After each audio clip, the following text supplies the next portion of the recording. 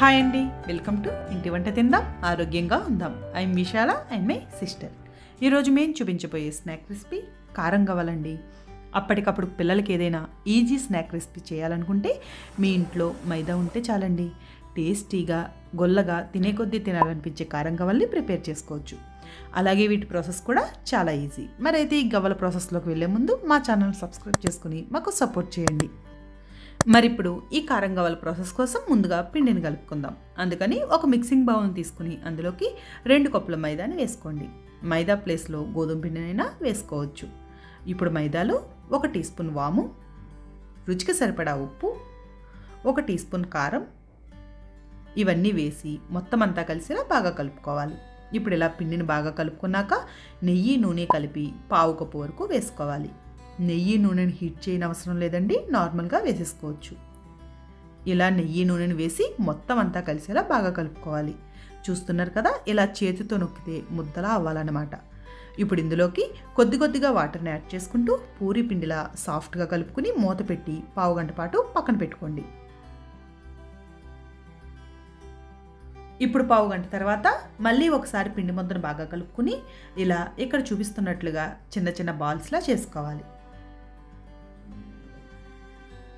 ఇప్పుడు ఇలా చిన్న బాల్స్ని చేసుకున్నాక గవ్వలు చేసుకునే బల్లం తీసుకుని ఆ బల్లకు ఆయిల్ని అప్లై చేసుకుని ఇప్పుడు ఇలా ఒక్కో బాల్ని తీసుకుని ఇక్కడ చూపించుతున్నట్లుగా గవ్వల్లా చేసుకోవాలి. అలాగే మీ దగ్గర గవ్వల బల్ల అందుబాటులో లేనట్లయితే ఇలా ఫోర్క్ని యూస్ చేసి కూడా గవ్వల్ని చేసుకోవచ్చు. అలాగే గవ్వలను చేసుకోవడానికి ఇంకో పద్ధతి ఉండండి అదేంటంటే ఇలా ఒక కొత్త దువ్వెను తీసుకుని దాని మీద కూడా ఇక్కడ చూపించినట్లుగా గవ్వల్ని చేసుకోవచ్చు. ఇలా మొత్తం పిండిని గవ్వల్లా చేసుకుని పక్కన పెట్టుకోండి. ఇక్కడ నేను తక్కువ క్వాంటిటీలో పిండిని కలుపుకున్నాను కనుక గవ్వల్ని ఒకేసారి ప్రిపేర్ చేసుకున్నానండి. మీరు ఎక్కువ క్వాంటిటీలో పిండిని కలుపుకుంటే కనుక కొద్ది కొద్దిగా గవ్వల్ని ప్రిపేర్ చేసుకోవాలి. లేదంటే గవ్వలు పైన డ్రై అయ్యి ఫ్రై చేశాక గొల్లగా రావన్నమాట. ఇప్పుడు స్టవ్ ఆన్ చేసి కడాయి పెట్టుకుని అందులోకి డీప్ ఫ్రైకి సరిపడా ఆయిల్ వేసుకోండి.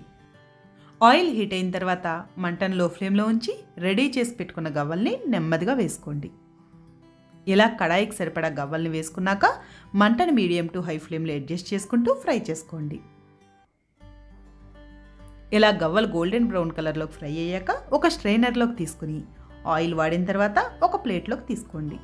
ఇలానే మిగిలిన గవ్వల్ని కూడా గోల్డెన్ బ్రౌన్ కలర్ వచ్చేంత వరకు ఫ్రై చేసుకుని పక్కన పెట్టుకోండి. చూసారు కదా ఎంతో గొల్లగా చాలా టేస్టీగా ఉండే కారం గవ్వలు రెడీ అయిపోయాయి. చాలా చాలా బాగుంటాయండి. మీరంతా తప్పకుండా ఈ స్నాక్ రెసిపీని ట్రై చేసి ఎలా వచ్చిందో ఫీడ్బ్యాక్ని కామెంట్ రూపంలో మాకు తెలియజేయండి మా రెసిపీస్ కనుక మీకు నచ్చినట్లయితే లైక్ చేసి మీ ఫ్రెండ్స్ అండ్ ఫ్యామిలీ మెంబర్స్కి షేర్ చేయండి. Thanks for watching